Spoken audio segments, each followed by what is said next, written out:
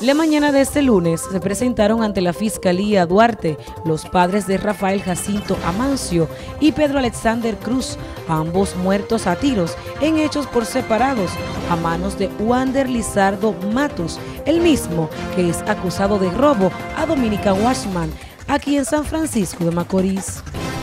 Wander Junelke Lizardo Matos, asesino que me le quita la vida a mi niño de 21 años de edad Rafael Jacinto Amancio. Yo pido por favor la mayor, la pena máxima que se le pueda echar a esa persona. Bueno, mi hijo no conocía a esa persona, el problema era con otra persona y el hijo mío salió de la discoteca y él le pegó el tiro, porque estaba tirando tiro como un loco.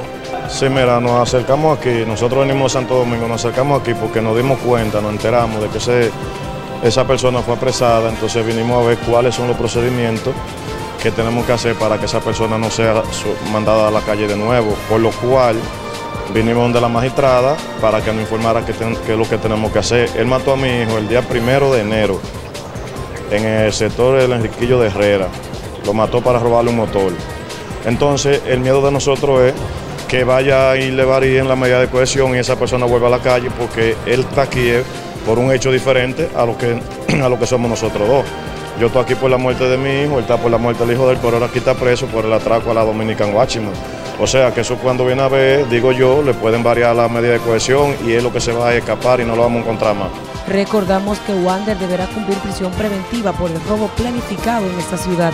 Ahora también deberá responder por dos homicidios pues familiares de las víctimas aseguran que realizan las diligencias pertinentes para que cumpla una pena máxima. Para NTN, su noticiero regional, Joanny Paulino.